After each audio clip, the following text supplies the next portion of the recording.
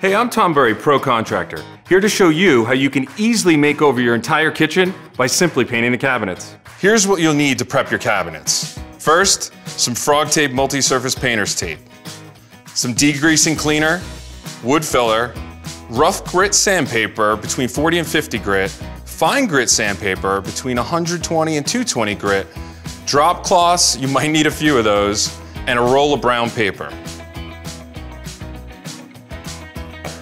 Fill in any holes or gaps that you don't want to be seen. Remove all the cabinet doors, hardware, pull knobs, and any drawers or shelves that can come out.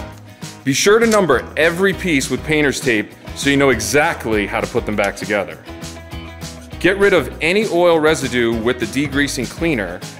Cover all your appliances, countertops, backsplash, and walls.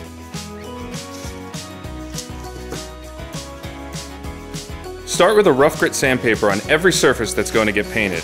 Most people skip the interior boxes of the cabinets and just focus on the surfaces you see the most. Next, switch to a fine grit sandpaper to smooth it all out. To finish, vacuum the area and wipe everything down with a damp cloth. This gets rid of any dust so your paint will stick. Use frog tape painter's tape on any surface adjacent to where you'll be painting to prevent paint bleed. And don't forget to burnish those edges. Now it's time to prime and paint. Here's what you'll need. Frog Tape Multi-Surface Painter's Tape, oil-based primer or 100% acrylic primer for the cabinetry, 100% enamel paint, 2.5 inch paint brushes, 4 inch smooth foam rollers, paint trays, paint gloves, and plastic kitchen wrap. Start by priming the face of the cabinet boxes first. Here's a pro tip. Get a glassy finish by sanding with a fine grit sandpaper in between coats. Then paint the backs of the doors and drawers. The best way to dry the doors and drawers is to lay them face up and flat on a covered table or on a drop cloth on the floor. Just make sure the room is dust free. Once dry, flip the doors over and paint the front side. Once your primer is completely dry, pick a 100% enamel paint formula. I like a satin finish since it's easy to keep clean. Use your paintbrush to cut in the corners and edges as well as any recessed areas. Then use your smooth foam roller to roll out everything else.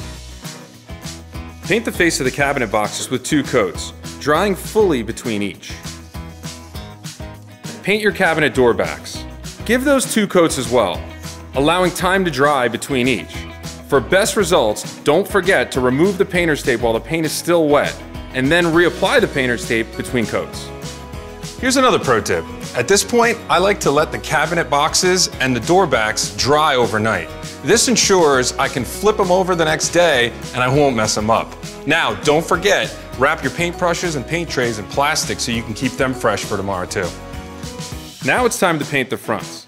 Flip over and paint the fronts with two coats, making sure they're totally dry between each.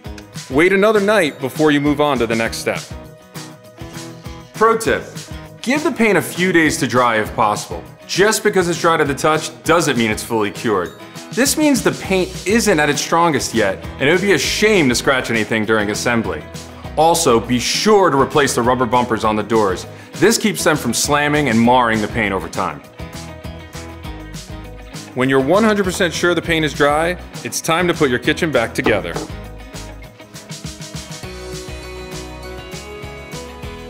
And there you have it. Now you're ready to enjoy your updated kitchen.